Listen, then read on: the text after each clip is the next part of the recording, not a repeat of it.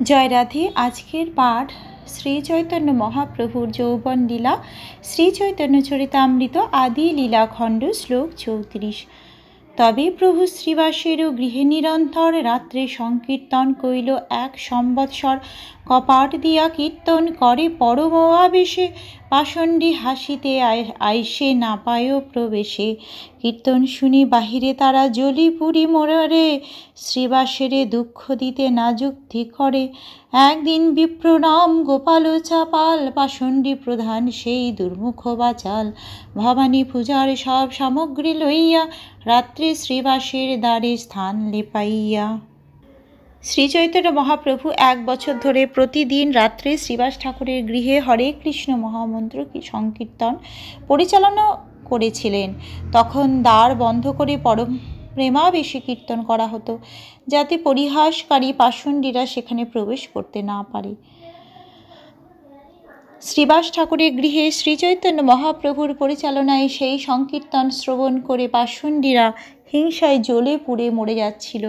তাই শ্রীবাস ঠাকুরকে দুঃখ দেওয়ার জন্য তারা নানা রকম যুক্তি করেছিল।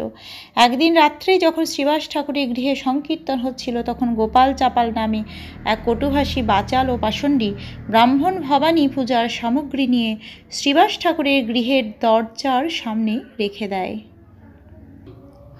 কলার পাত উপরে থুইল ওড়ো ফুল, হরিদ্রা সিন্দুরা, রক্তচন্দন, তণ্ডুল মধ্যভাণ্ড পাশে ধরি, নিজ ঘরে গেল, প্রাতকালী শ্রীবাস তাহা তো দেখিল। বড় বড় লোক সব আনিল বলিয়া, সবারে কহে, শ্রীবাস, হাসিয়া হাসিয়া, নিত্যরাত্রে করি আমি ভবানী পূজন আমার মহিমা দেখো ব্রাহ্মণ সজ্জন। তবে সব লোক করে হাহাকার। হয়েছে কর্ম হেথা কইল কোন দুরাচার হারিকে আনিয়া সব দূর করাইল জল গোময় দিয়া সেই স্থান লেপাইল। কলার পাতার উপর যে ওর ফুল, হলুদ, সিন্দুর, রক্তচন্দন, চাল আদি দেবী পূজার সমস্ত সরঞ্জাম রাখল। তার পাশে সে একটি মধ্যভাণ্ড রেখে নিজের বাড়িতে গেল এবং সকালবেলায় শ্রীবাস ঠাকুর ঘরের দরজা খুলে তা দেখতে পেলেন। শ্রীবাস ঠাকুর প্রতিবেশী সমস্ত সম্মানিত ভদ্রলোকদের ডেকে এনে মৃদু হেসে বললেন, ভদ্র মহোদয়গণ, প্রতিদিন রাত্রে আমি ভবানী পূজা করি। যেহেতু পূজার এই সমস্ত উপকরণগুলি এখানে রয়েছে তাই এখন ব্রাহ্মণ ও সজ্জন আপনারা আমার মহিমা দর্শন করুন। তখন সমবেত সমস্ত ভদ্রলোকেরা বললেন, হায় হায়, কে এই জঘন্য কার্য করেছে? সে কোন দুরাচারী পাপিষ্ঠ? তারা ম্যাথর হাড়ি ডেকে সেই সমস্ত জিনিস দূরে ফেলে দিল এবং জল ও গোময় দিয়ে সেই স্থানটি লেপন করালো। তিন দিন রহি সেই গোপাল চাপাল সর্বাঙ্গে হইল কুষ্ঠ, বহে রক্তধার।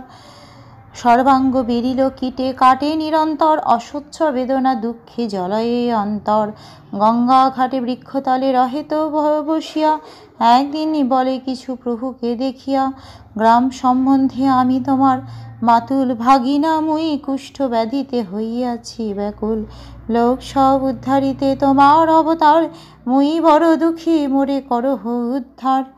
তিন দিন পর গোপাল চাপাল কুষ্ঠ রোগে আক্রান্ত হলো এবং তার সারা শরীর থেকে রক্ত ও পুঁজ পড়তে লাগল। তার সারা শরীরের ঘাগুলিতে কীট দংশন করতে লাগল।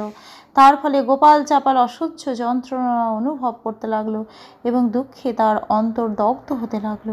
যেহেতু কুষ্ঠ একটি সংক্রামক ব্যাধি, তাই গোপাল চাপালকে গ্রাম থেকে দূরে চলে যেতে হলো। সে গঙ্গা তীরে একটি গাছের নিচে বসে থাকতো। একদিন শ্রী চৈতন্য মহাপ্রভুকে দেখে সে তাকে বলে, গ্রাম সম্পর্কে আমি হচ্ছি তোমার মাতুর আর তুমি হচ্ছ আমার ভাগ্নে। দয়া করে দেখো আমি কীভাবে কুষ্ঠ ব্যাধিতে মহাকষ্ট মহাকষ্ট ভোগ করছি। সমস্ত অধপতির জীবদের উদ্ধার করার জন্য তুমি অবতরণ করেছ। আমিও বড় অধপতির দুঃখী। দয়া করে আমাকে উদ্ধার করো। এত শুনি মহাপ্রভুর হইল ক্রুদ্ধ মন ক্রোধাবেশে বলে তারে তর্জন বচন। আরে পাপি ভক্ত দেশি তোরে না উদ্ধারিম, কোটি জন্ম এই মতে কিরাই খাইয়া উইম। শ্রীবাসে করাইলি তুই ভবানী পূজন কোটি জন্ম হবে তোর রৌরবে পতন।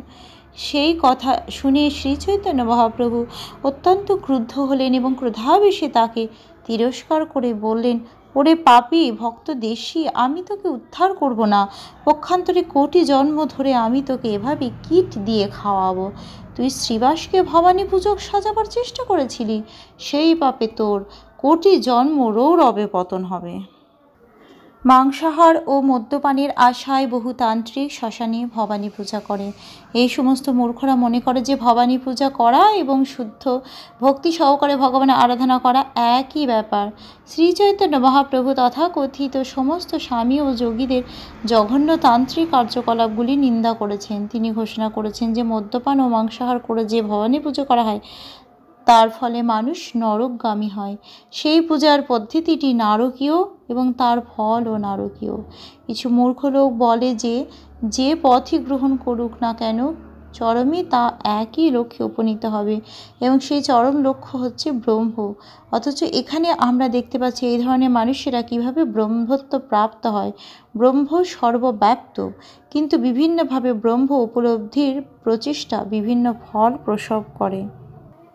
ভগবদ্গীতায় বলেছেন, ভগবান বলেছেন, যে যথা মাং প্রপদ্যন্তে তাংস্তৈব ভজাম মহম, যে যেভাবে আমার শরণাগত হয়, সেভাবেই আমি তাদের ফল প্রদান করে থাকি। মায়াবাদীরা অবশ্যই কোনো বিশেষ, বিশেষভাবে ব্রহ্মকে উপলব্ধি করে, কিন্তু মদ, মেয়ে, মানুষ ও মাংসরূপে ব্রহ্ম উপলব্ধি আর কীর্তন, নর্তন ও ভগবত প্রসাদ সেবনের মাধ্যমে ভগবত ভক্তের ব্রহ্ম উপলব্ধি এক নয়। অল্পজ্ঞ মায়াবাদীরা মনে করে যে সব রকমের ব্রহ্ম উপলব্ধি এক এবং তাতে কোনো রকম বৈচিত্র্য নেই। কিন্তু কৃষ্ণ সর্বব্যাপ্ত হলেও তার অচিন্ত শক্তির প্রভাবে তিনি সর্বত্র বিরাজমান নন। এভাবেই তান্ত্রিকদের ব্রহ্ম উপলব্ধি এবং শুদ্ধ ভক্তের ব্রহ্ম উপলব্ধি এক নয়। ব্রহ্ম উপলব্ধি সর্বোচ্চ স্তর কৃষ্ণ ভাবনায় উন্নীত না হলে মায়ার কবলে তাকে দণ্ডভোগ করতেই হবে। কৃষ্ণ ভক্ত ছাড়া অন্য সকলেই স্বল্প বা অধিক মাত্রায় পাষণ্ডী বা আসরিক এবং তাই তারা পরমেশ্বর ভগবানের হাতে দণ্ডনীয়। সেই কথা পরবর্তী শ্লোকে মহাপ্রভু বলেছেন। আজকের পাঠ এই অবধি। ভজ শ্রীকৃষ্ণ চৈতন্য প্রভু নিত্যানন্দ শ্রী অদ্বৈত গদাধরে শ্রীবাসাদি গৌর ভক্ত বৃন্দ। হরে কৃষ্ণ হরে কৃষ্ণ কৃষ্ণ কৃষ্ণ, হরে হরে হরে রাম হরে রাম রাম রাম, হরে হরে।